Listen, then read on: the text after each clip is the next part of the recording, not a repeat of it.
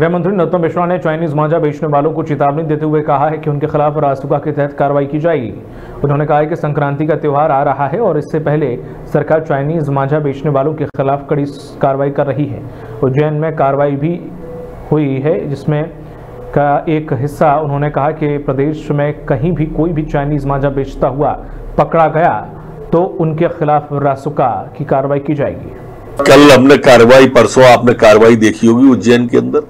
कि चाइनीज़ वाले जो वाले थे,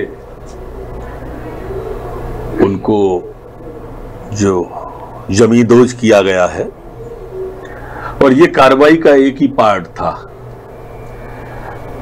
ये सचे संक्रांत आ रही है, लोग पतंग उड़ाते हैं, और मैं आप सबके माध्यम से स्पष्ट कर देना चाहता हूँ, और वो जो चाइनीज़ माजा बेचने की सोचते भी हैं, वो भी कान खोल के सुन लें कि मध्य प्रदेश के अंदर उनके ऊपर रासुका जैसी कार्रवाई हो सकती है।